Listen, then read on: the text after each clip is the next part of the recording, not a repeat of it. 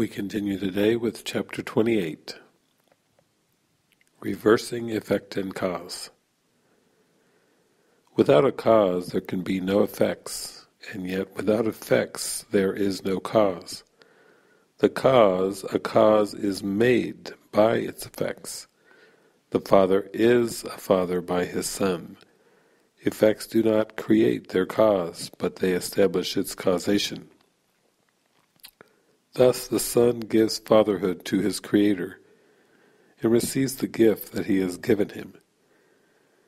It is because he is God's Son that he must also be a Father who creates as God created him. The circle of creation has no end. Its starting and its ending are the same. But in itself it holds the universe of all creation, without beginning and without an end. Fatherhood is creation. Love must be extended. Purity is not confined. It is the nature of the innocent to be forever uncontained, without a barrier or limitation. Thus is purity not of the body, nor can it be found where limitation is. The body can be healed by its effects, which are as limitless as itself. Yet must all healing come about because the mind is recognized as not within the body, and its innocence is quite apart from it, and where all healing is. Where, then, is healing? Only where its cause is given its effects. For sickness is a meaningless attempt to give effects to causelessness and make it be a cause. Always in sickness does the Son of God attempt to make himself his cause, and not allow himself to be his Father's Son. For this impossible desire, he does not believe that he is love's effect, and must be cause because of what he is. The cause of healing is the only cause of everything. It has but one effect. And in that recognition, causelessness is given no effects and none is seen. A mind within a body and a world of other bodies, each with separate minds, are your, quote, creations. You, the, quote, other mind creating with effects unlike yourself. And as their, quote, father, you must be like them. Nothing at all has happened but that you have put yourself to sleep and dreamed a dream in which you were an alien to yourself and but a part of someone else's dream. The miracle does not awaken you, but merely shows you who the dreamer is. It teaches you there is a choice of dreams while you are still asleep, depending on the purpose of your dreaming. Do you wish for dreams of healing or for dreams of death? A dream is like a memory in that it pictures what you wanted shown to you. An empty storehouse with an open door holds all your shreds of memories and dreams. Yet if you are the dreamer, you perceive this much at least, that you have caused the dream, and can accept another dream as well. Before this change in content of the dream, it must be realized that it is you who dream the dreaming, that you do not like, it is but an effect that you have caused, and you would not be cause of this effect. In dreams of murder and attack are you the victim, in a dying body slain. But in forgiving dreams is no one asked to be the victim and the sufferer. These are happy dreams, the miracle exchanges for your own. It does not ask you make another, only that you see you made the one you would exchange for this. This world is causeless, as is every dream that anyone has dreamed within the world. No plans are possible, and no design exists that could be found and understood.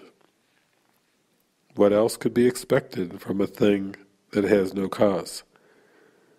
Yet, if it has no cause, it has no purpose. You may cause a dream, but never will you give it real effects, for that would change its cause, and it is this you cannot do.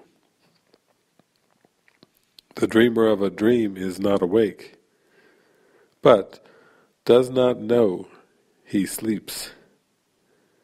He sees illusions of himself as sick or well, depressed or happy, but without a stable cause with guaranteed effects. The miracle establishes you dream a dream and that its content is not true. This is a crucial step in dealing with illusions. No one is afraid of them when he perceives he made them up. The fear was held in place because he did not see that he was author of the dream and not a figure in the dream. He gives himself the consequences that he dreams he gave his brother. And it is but this the dream has put together and has offered him, to show him that his wishes have been done. Thus does he fear his own attack, but sees it at another's hands. As victim, he is suffering from its effects, but not their cause. He authored not his own attack, and he is innocent of what he caused. The miracle does nothing but to show him that he has done nothing. What he fears is cause without the consequences that would make it cause, and so it never was. The separation started with the dream the father was deprived of his effects, and powerless to keep them since he was no longer their creator. In the dream, the dreamer made himself. But what he made has turned against him, taking on the role of its creator, as the dreamer had. And as he hated this creator, so the figures in the dream have hated him. His body is their slave, which they abuse because the motives he has given it have they adopted as their own, and hate it for the vengeance it would offer them. It is their vengeance on the body which appears to prove the dreamer could not be the maker of the dream. Effect and cause are first split off, and then reversed, so that effect becomes a cause, the cause effect. This is the separation's final step, with which salvation, which proceeds to go the other way, begins. This final step is an effect of what has gone before, appearing as a cause. The miracle is the first step in giving back to cause the function of causation, not effect. For this confusion has produced the dream, and while it lasts, will awakening be feared, nor will the call to awakening be heard, because it seems to be the call to fear. Like every lesson that the Holy Spirit requests you learn, the miracle is clear. It demonstrates what He would have you learn, and shows you its effects are what you want. In his forgiving dreams are the effects of yours undone, and hated enemies perceived as friends with merciful intent. Their enmity is seen as causeless now, because they did not make it, and you can accept the role of maker of their hate, because you see that it has no effects. Now are you freed from this much of the dream, the world is neutral, and the bodies that still seem to move about as separate things need not be feared, and so they are not sick. The miracle returns the cause of fear to you who made it, But it also shows that having no effects, it is not cause, because the function of causation is to have effects. And where effects are gone, there is no cause.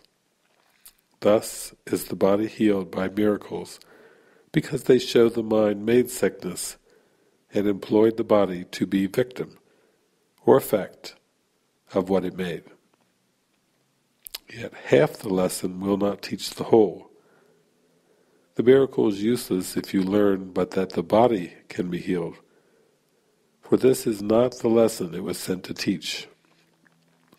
The lesson is the mind was sick that thought the body could be sick.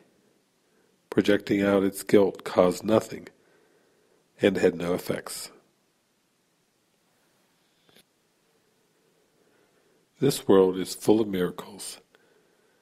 They stand in shining silence next to every dream of pain and suffering, of sin and guilt. They are the dream's alternative, the choice to be the dreamer rather than deny the active role in making up the dream. They are the glad effects of taking back the consequence of sickness to its cause.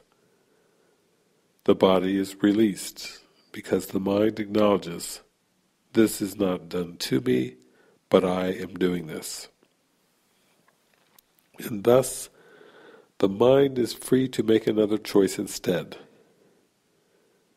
Beginning here, salvation will proceed to change the course of every step in the descent to separation, until all the steps have been retraced, the ladder gone, and all the dreaming of the world undone. And from the workbook, Lesson 219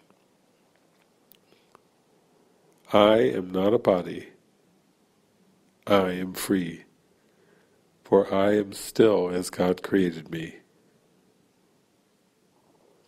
I am not a body.